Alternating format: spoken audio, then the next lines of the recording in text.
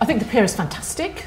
And like most people in Hastings, I was gutted when it was burnt down and campaigned and helped arrange the right people and helped lobby Heritage Lottery Foundation to get the money in and was just fantastically excited when it was opened.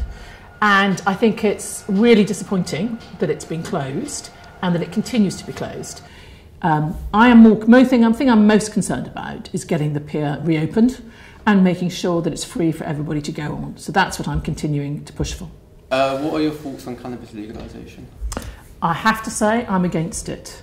Um, I do think it should be, all drug policy should be evidence based, but at the moment there is no reason to change it. Not even for like medical purposes? Oh no, we have, yeah, that's fair enough. We have said that it's going to be allowed uh, for medicinal purposes, yeah. and the new Home Secretary put some of that in place, which is good. And I think there's a very strong case to make sure that properly handled, that can take place.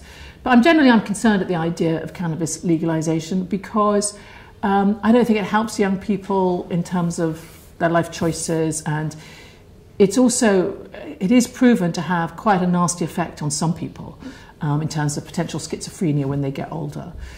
I think that people who want to campaign for legalisation of cannabis will have a better case to make depending on the evidence we see from the countries and the areas that are now legalising it. What is the government currently doing to combat homelessness in the UK? Well, I think that homelessness is a terrible thing, and I want to see as little of it as possible.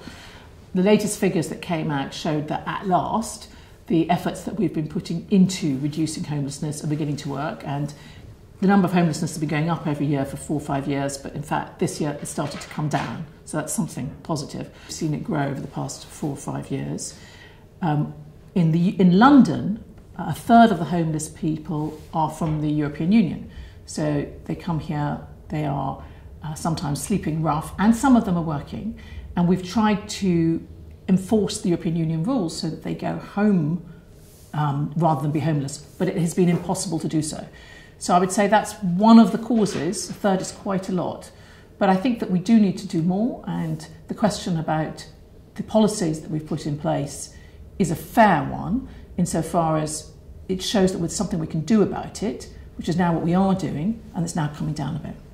What's the government going to do about uh, microplastics and cleaning it up? Well, we, I think we've done quite a lot over the past few months, particularly in raising awareness now. Um, you know, we put the, of course, the uh, the fee on plastic bags, um, and everybody's much more aware about the need to recycle and to limit the use of plastic. Um, we have put some proposals forward about voluntary use to make sure that smaller shops as well, who were excluded before, are now included in the plastic bag ban. And um, you know, I think I think that most people are moving towards, if you go into most cafes or if you go into, in Parliament certainly, most people are recycling their coffee cups and their bottles of water. So it feels quite positive in terms of nudging people towards it, as well as some portions of legislation. There are uh, kids going on strike this Friday because of the climate. What do you think about the climate strikers? Well, I like seeing kids getting involved, and I like seeing them stepping up and saying, that adults need to do something about climate change. Uh, you know, it's a balance between making sure that they don't lose out on their lessons. You know, nobody wants them to lose out on their education, but I think it's a positive thing to see young people involved in one of the biggest issues that we're facing. So, the final question is from Mihai, who's from Romania. Shouldn't we just cancel Brexit? Um, I'm afraid, Mihai, we can't do that. Uh, I campaigned very hard to remain, but I also stood on a platform and said, if you vote to leave, I will help to deliver that. So I feel a very strong sense of obligation to do that. But I would also like to reassure him that the type of Brexit I want will protect his rights and make sure that it protects our businesses as far as possible.